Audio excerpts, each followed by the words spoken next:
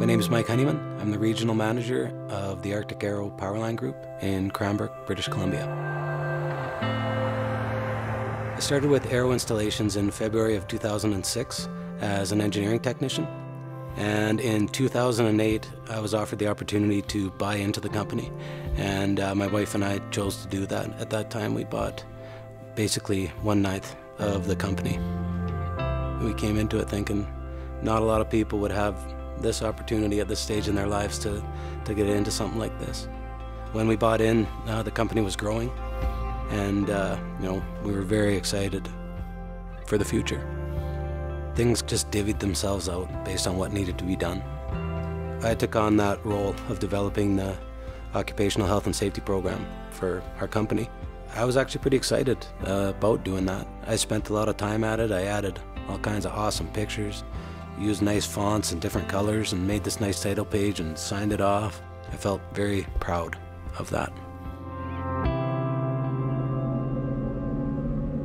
I'd been an owner at Arrow for just over a year, and Mike Roussel was a sub-foreman. I didn't actually know him very well. He was, you know, one of the guys, a relatively new employee, and there was a lot of them.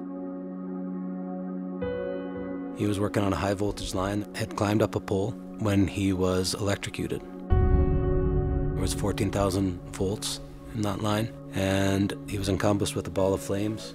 Um, it, the electrical arc lasted for, for quite a while until it broke and he fell away backwards, unconscious, up on the pole. He was rescued by the apprentice he was with and the hydro crews that showed up, flown to Calgary, taken to the hospital. There was a long period of time again where you didn't know if he was going to live or die. I can't imagine what his family was going through at that time. It was awful, really awful. And it was scary. Coming in in the morning and gathering everybody around, you know, and people are wondering, well, is he, is he gonna be all right? Is he conscious? I don't know. I don't know what's going on. And, you know, they did their best to, to do what they could, but as a result of the injuries he sustained, he lost his arm and his leg. When something this severe happens, you know, the investigation is, is right now. So you have people coming in. WCB, you've got the investigator, and you've got, there was a ex-RCMP guy that was, was part of that. And that's stressful. It's a tough thing to be sitting in the middle of, and you're getting asked a lot of questions that you don't have a very good answer for. Everything about your company is exposed and vulnerable. And it doesn't matter how much good stuff you did, it's the things you didn't do good that are, they come to the forefront and they come quick. And that hurts, especially, you know, when you're proud of something and you don't really think that you did a bad job. Then this happens and then you realize like, yeah, I actually did do a bad job.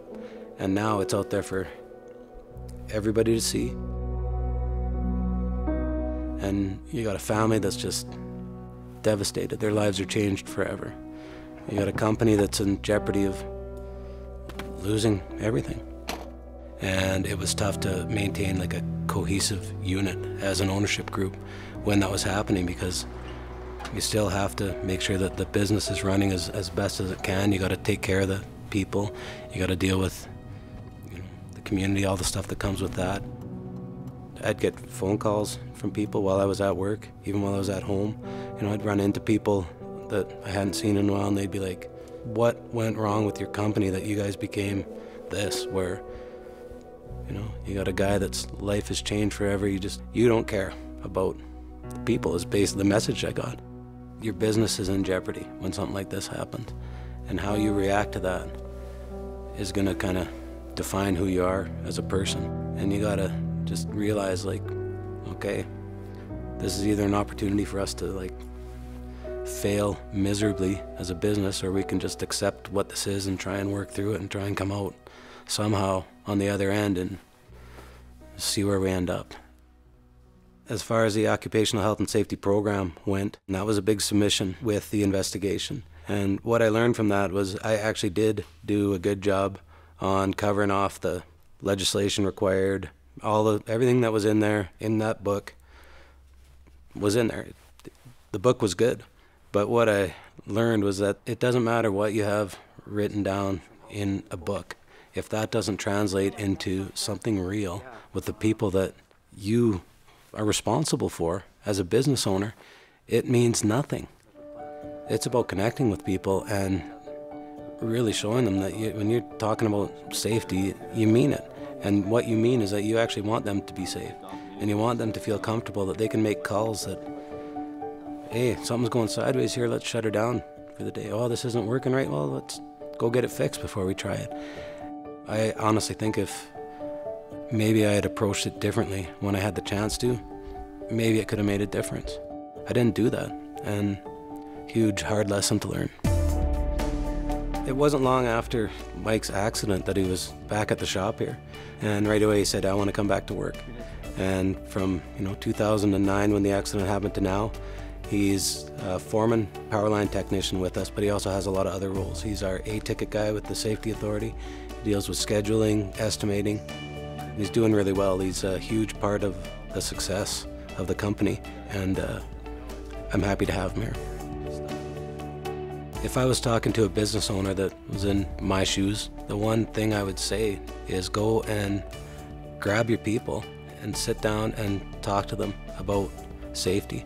Let them know that that really is something you care about, that you want to make a difference and you want to do what you can to be part of them coming home safer every day.